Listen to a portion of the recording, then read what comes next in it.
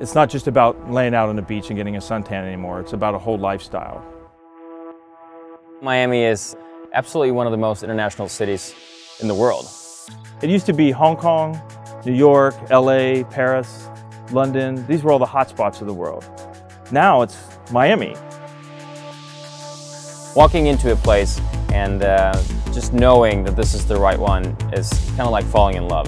I think you'll know in the first 20 seconds.